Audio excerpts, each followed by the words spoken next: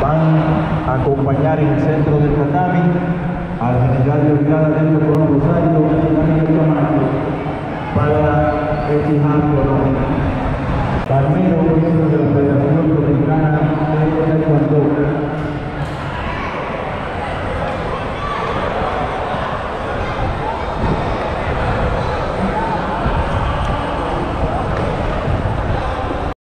General Jorge Colón Rosario, famosos dos destacados atletas de la disciplina de Taekwondo y México de la República Dominicana, Fernando Pérez y Moisés Hernández, que se acompañan Miguel Camacho.